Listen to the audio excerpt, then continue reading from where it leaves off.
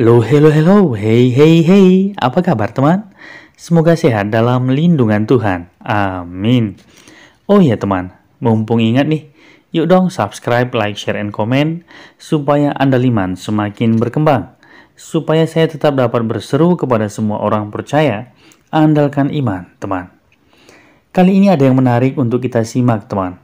Pastikan hati dan pikiranmu bisa fokus sebelum nonton ya. Dijamin deh, Video kali ini akan membuatmu penuh sukacita, damai sejahtera, dan ceria. Kok bisa? Bisa banget dong. Karena narasumber kita ini orangnya menyenangkan banget. Hari ini saya ingin mengajak kita sekalian mendengarkan kesaksian dari seorang artis terkenal. Masih ingat kan dengan Kak Choki Sitohang? Itu loh teman, hostnya acara Take Me Out di televisi beberapa tahun yang lalu. Populer banget loh acara televisi itu. Sudah ingat kan? Oke, menurut saya Kak Coki ini cocok banget jadi artis Kristen yang ideal untuk dijadikan teladan. Khususnya nih ya, untuk generasi muda Kristen masa kini. Menurut teman gimana? Tulis di kolom komentar ya. Kenapa saya bilang Kak Coki ideal untuk dijadikan teladan? Itu karena beliau pintar banget jaga hidupnya dan keluarganya dari gosip-gosip miring. Biasalah teman, umumnya artis itu kan laris kalau punya gosip yang manis. Tapi beda banget dengan Kak Coki Stohang.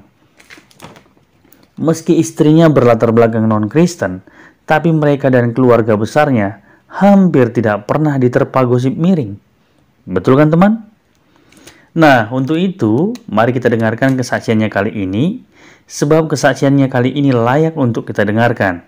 Kesaksian tentang bagaimana Kak Coki Stohang ditolong dan diangkat Tuhan saat Kak Coki berada di titik terendah dalam hidupnya.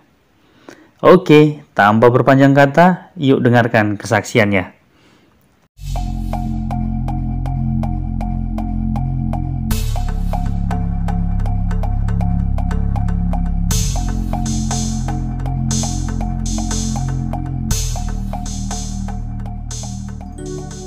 imun imun tubuh bukan hanya harus dibangun tapi juga harus banyak merenungkan kebaikan Tuhan ya.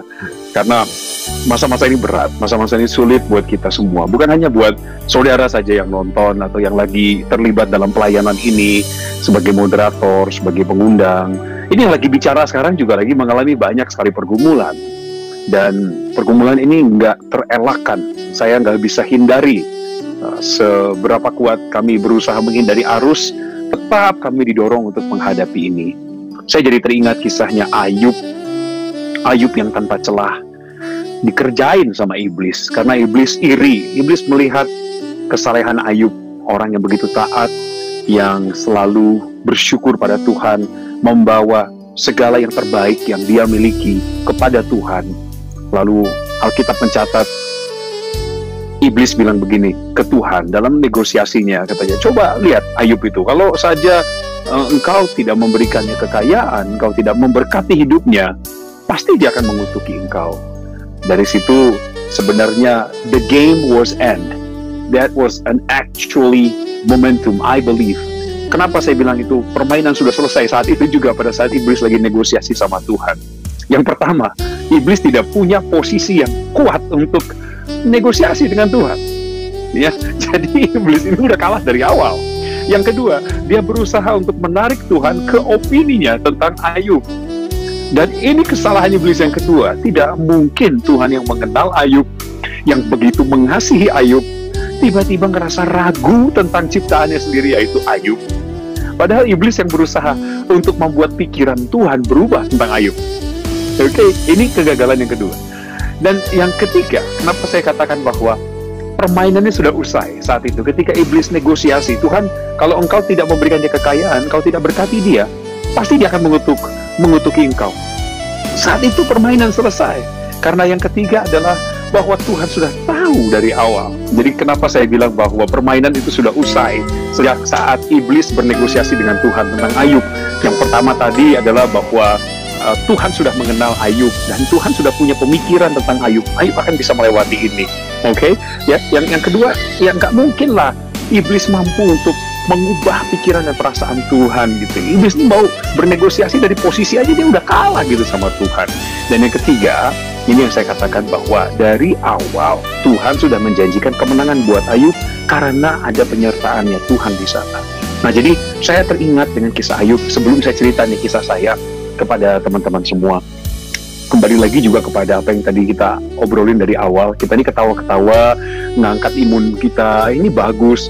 Kita mesti bikin sebuah pelayanan yang memberikan ruang kepada setiap orang di dalamnya untuk berekspresi. Ingat loh, kita ini bukan setelan ya, kita ini bukan robot yang otomatis kemudian jadi kudus otomatis harus selalu religius gitu. Enggak, enggak, enggak, enggak banyak banyak hal dalam kehidupan kita akui sajalah di tengah pandemi seperti sekarang bahkan jiwa kita saja terkadang sulit mengucap syukur. Kita ada dalam posisi yang sulit melihat kebaikan Tuhan. Bahkan cenderung pikiran kita ini dimanipulasi. Dan jangan buru-buru nyalahin iblis dulu. Karena bisa jadi ini urusan kita saja. Urusan pribadi kita yang terlalu mengizinkan mentalitas pecundang ya. Orang-orang yang kita ini gini, kalau kita nggak bersyukur sama Tuhan, atas keadaan hari ini dan tidak bersyukur atas apa yang pernah dia lakukan di masa lalu kita, maka kita telah mengizinkan pikiran pecundang kita menang hari ini. Anda dan saya, saudara dan saya, kamu teman-teman, dan Coki saat ini, kita semua sedang bergumul. Sebut saja, bergumul tentang apa? Yang paling besar, ekonomi, finansial. Betapa banyaknya kebutuhan kita yang harus kita penuhi. Saya kepala keluarga, dan saya punya kewajiban untuk memelihara kehidupan keluarga saya dengan segala kebutuhan mereka. Dan masing-masing mereka terikat dengan kewajiban-kewajiban. Anak-anak saya sekolah, kami punya usaha, usaha perlu ditopang, kami punya karyawan, mereka makan dari kami, mereka digaji oleh kami, dan lain sebagainya, dan sebagainya. Siapa sih yang gak berat? Ada sih, saya juga punya teman-teman yang merasa, hmm, kayaknya nggak berat ya hidup mereka. Kayaknya loh, itu asumsi saya tapi saya nggak akan bermain terlalu lama dalam pikiran saya yang penuh dengan asumsi karena itu nggak baik juga. Saya nggak ngerti apa yang sebenarnya menjadi pergumulan di hati mereka per hari ini. Nah kembali kepada kisah saya. Saudara pertama-tama saya ingin ucapkan terima kasih. Terima kasih kepada Tuhan Yesus yang memberikan saya kesempatan untuk bicara di kanal YouTube ini di gereja YouTube. Saya nggak tahu ini kanal YouTube atau enggak tapi disebutnya gereja YouTube ini juga kali pertama saya ada di sini. Sebelumnya ternyata dengan dengan Kak Leo saya sudah kenal. Ternyata kami juga pernah melayani di sebuah gereja saat itu. Dan ini dipertemukan lagi lewat daring. Yang kedua, terima kasih teman-teman yang sudah menunjuk saya untuk menyampaikan kebaikan Tuhan di waktu yang sangat singkat ini. Nah, saudara, alasan saya memulai tadi dengan ketawa-ketawa dan membuat diskusi ini mengalir gitu, kelihatan hidup, seolah seperti saya ini udah kenal lama gitu dengan teman-teman yang menyambut saya barusan. Itu karena menurut saya kita harus membangun jembatan komunikasi yang luwes satu sama lain. Kita harus meruntuhkan tembok-tembok ego, kesombongan, dan bahkan batasan-batasan yang membuat kita menjadi sulit berkomunikasi satu sama lain, sulit membangun kepercayaan. Apalagi kita ada di ladang pelayanan, ladangnya Tuhan yang sudah menguning, kata Tuhan. Lebih-lebih lagi di ladang pelayanan, karena Tuhan percayakan ladang pelayanan ini, maka kita harus jadi orang-orang yang bertanggung jawab mengelolanya bersama-sama, ya kan? Dan gak sendirian, ada teman-teman yang lain. Kerjasama dong, rendahkan hatimu. Kita ini ada di masa-masa lagi diayak ini, lagi diayak. Nanti yang tembus ke bawah yang akhirnya masuk ke takaran tertentu adalah mereka yang halus, mereka yang halus, mereka yang lolos. Bisa dua perspektif sih, kita bisa ambil yang tersisa diayakan atau yang bablas ke bawah gitu. Terserah mau pakai yang mana, tapi saya mau katakan pada kita semua bahwa kita sedang ada dalam proses pengayakan, kita semua sedang dalam ujian. Beberapa orang mengambil kata-kata kita ada di badai yang sama, tapi ada di perahu yang berbeda, tetapi tujuan Tuhan dalam hidup kita tetap spesifik. Saya ingatkan pada kita semua, tujuan Tuhan terhadap kita spesifik. Dia punya pesan khusus untuk Coki, untuk Leo, untuk Lika, untuk Sisi, untuk Yosia, untuk siapa pun saudara yang mengikuti acara ini. pada saat saya berbicara kepada saudara, hati saudara sedang berkata, aku punya rencana untukmu. Itu kata Tuhan. Jadi meskipun berat saya hadapi pandemi ini satu setengah tahun terakhir ini teman-teman. Karena corona. Ini corona bikin susah. Tolong itu kemarin kalau ada ibu-ibu yang dikasih bingkisan, lalu ditanya ini dari mana bingkisannya, lalu dibilang ini bantuan corona. Lalu ibu itu bilang, ya terima kasih, panjang umur ya untuk corona didoain. Ibu, jangan doain corona sudah. ada aja media sosial ini. Aduh, corona memang bikin kita susah. Susahnya berjamaah lagi, rame-rame. Satu setengah tahun ini dampaknya juga luas. Salah satunya ke pekerjaan kami. Ada banyak acara yang harus ditunda, bahkan dibatalkan dan saya nggak bisa nuntut kompensasi apa-apa karena ada pasal yang menyatakan force major atau keadaan memaksa. Bencana alam, huru hara, kebakaran, gempa bumi, termasuk pandemi. Maka di momentum ini kita sama-sama harus saling mengerti, saling memahami. Tapi perut, urusan perut ini tetap saja mendesak sekalipun kita mengerti keadaan mereka, tapi kebutuhan kita tetap mendorong kita seperti ke tepi jurang. Dan kita tersandera oleh kebutuhan itu. Saya juga mengalaminya. Saya bersaksi sekalian curhat, minta dikuatkan sama jemaat semua.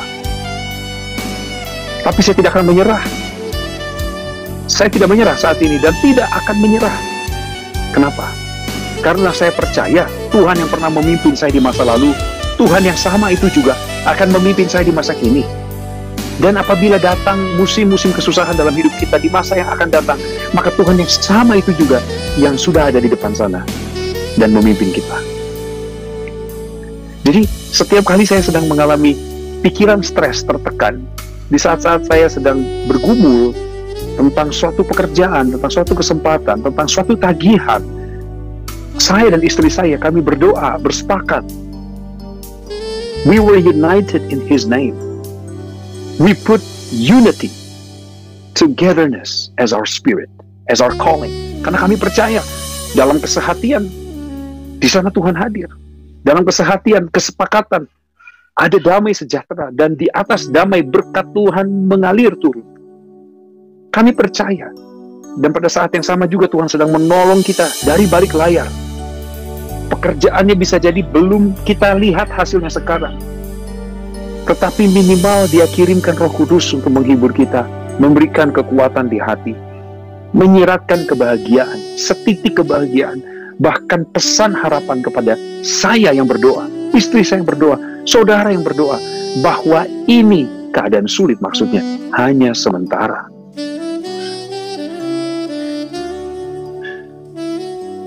Sementara saya mengalami banyak tekanan itu, saya ingat, oh, kira-kira 16 tahun yang lalu, Tuhan tolong saya di masa sulit saya waktu itu. Dan bahkan saya pikir 16 tahun lalu itu masa yang tingkat kesulitannya lebih berat daripada hari ini. 16 tahun lalu yang saya alami memang bukan pandemi, bukan pandemi nasional atau global, tapi pandemi lokal lah. 16 tahun yang lalu saya terbaring di rumah sakit dengan penyakit hepatitis dalam kondisi badan yang sangat ringkih. Sedih, merasa sendiri. Memang saya belum berkeluarga saat itu, hidup saya masih sendiri, tapi saya punya tanggung jawab terhadap ibu dan adik-adik saya. Papa saya sudah meninggal dari tahun 2003, dan apa yang saya ceritakan barusan adalah terjadi di tahun 2000 2005 waktu itu saya di rumah sakit dan saya ingat di rekening saya itu hanya tersisa uang kira-kira 2 juta 2 juta rupiah dan 2 juta ini akan segera menjadi minus karena harus saya bayarkan untuk cicilan mobil saya bulan depan. Jadi kalau itu sudah terdebit secara otomatis ya nol lah, nol rupiah lah di rekening. Puyeng nggak tuh? Saya sempat bertanya di rumah sakit itu, kepada Tuhan saya bertanya, Tuhan, bagaimana nanti saya memulai kembali ya kalau saya sudah sembuh dari penyakit liver ini, hepatitis ini.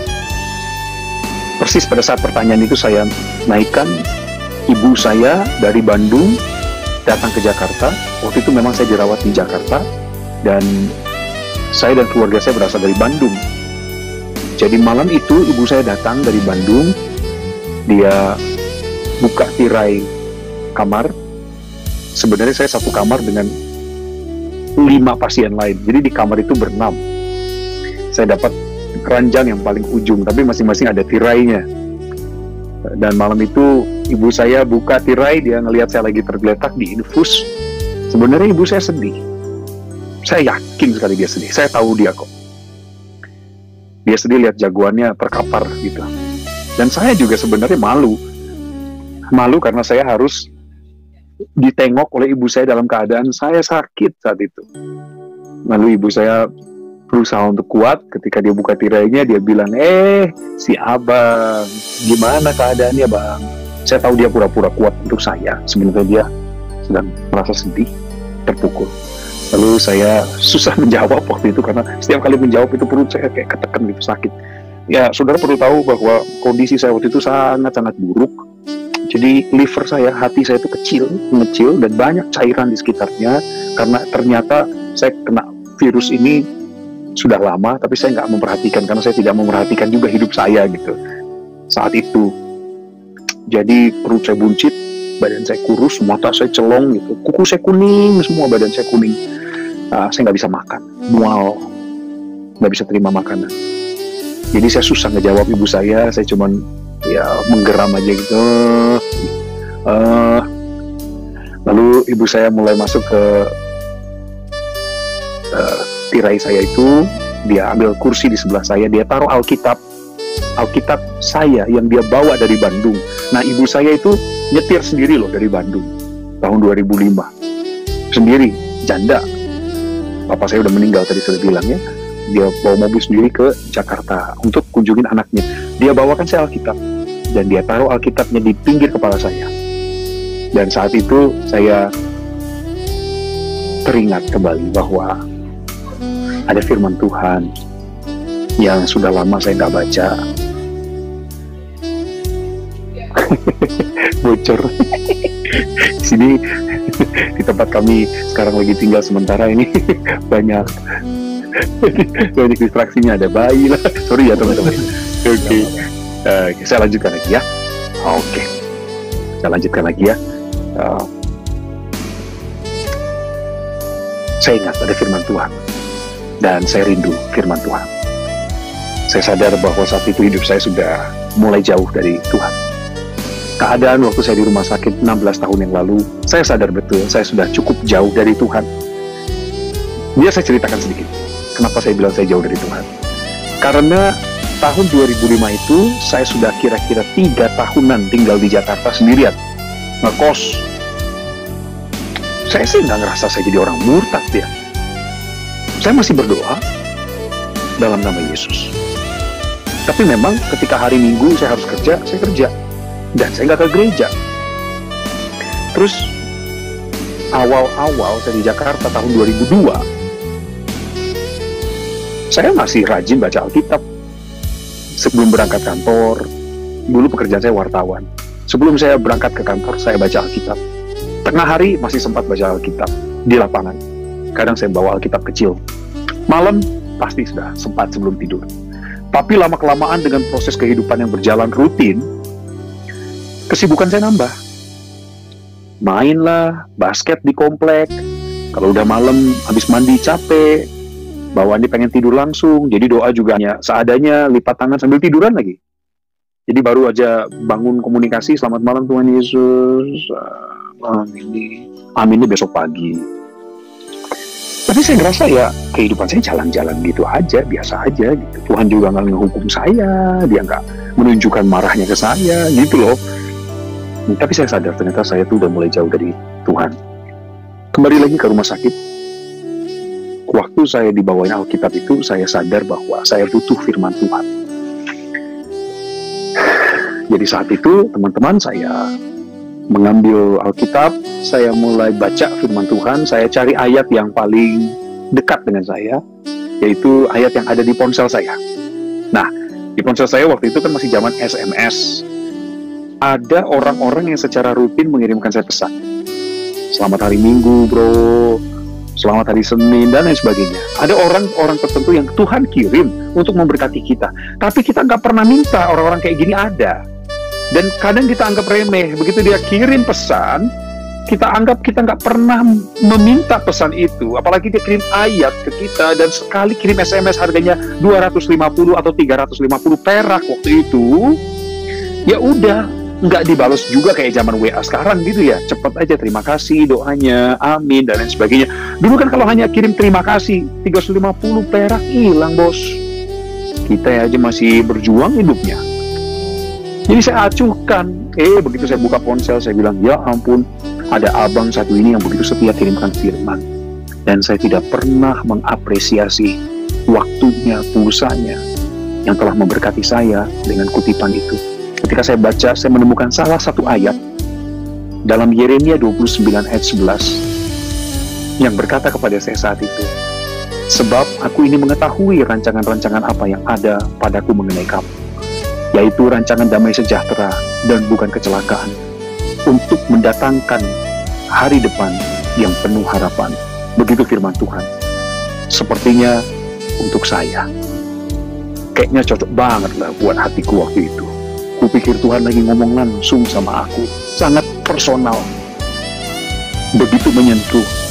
Dan ketika saya mengamini firman ini, padahal saya belum baca seluruh perikop itu, saya belum tahu konteks ayat itu dalam keadaan dan peristiwa apa tapi saya aminkan Tuhan rencanamu damai bukan kecelakaan seolah-olah aku ingin mengambil bagian yang enak saja dari firman Tuhan. Hanya yang baik yang kuperlukan saat itu. Tapi Tuhan gak marah juga sama gue.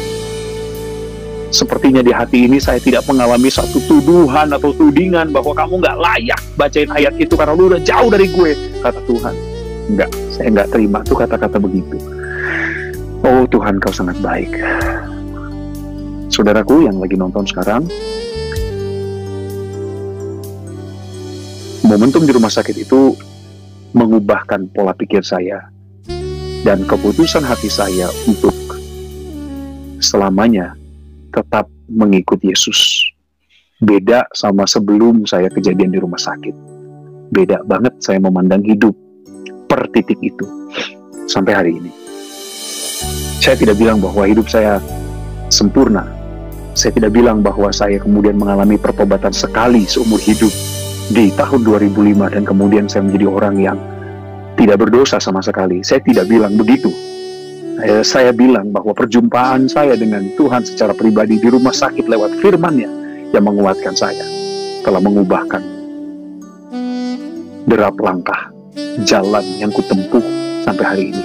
Sehingga ketika ku menoleh ke belakang, ku melihat penyertaan yang sempurna kala itu membawa saya menuju kepada pengalaman demi pengalaman, karir, pekerjaan, dan pelayanan. Dan sekarang tahun 2021, atau tidak usahlah disebut, nggak usahlah kita nyebut dulu tahun pandemi, katakanlah sampai 2019 sebelum pandemi ini datang, rasanya, rasanya ya, rasanya hidupku baik-baik saja tidak sempurna, tapi baik-baik saja. Sebenarnya pergumulan saya nggak cuma itu, masih banyak yang lain. Yang saya mau sampaikan kepada saudaraku semua, ketika engkau mengalami kesusahan di masa sekarang, ingatlah Tuhan Yesus pernah memimpinmu dan kebaikannya ada pada saat engkau dulu ditolongnya. Jadi ketika Tuhan sanggup menolongmu dulu, hari ini seharusnya engkau juga mengharapkan Tuhan yang sama pertolongan yang serupa. Jangan mundur, jangan kendor. Jangan karena mentang-mentang sudah divaksin dua tahap, terus kita jadi nggak pakai masker ke mana-mana, cuek. Gara-gara nonton UFC dan NBA, di sana orang-orang bebas ke mana-mana nggak pakai masker, kita mau ikut-ikutan. Eh, beda iklim, bos. Sama seperti firman Tuhan. Sekali Yesus, tetap Yesus, sekali terima keselamatan, kerjakan keselamatan. Tolong dikoreksi itu. Kalau selama ini keliru pemahamanmu, sekali selamat, selamanya selamat. Ganti. Sekali terima keselamatan, kerjakan keselamatanmu. Demikian kesaksian saya, singkat saja, tapi sudah menghabiskan 30 menit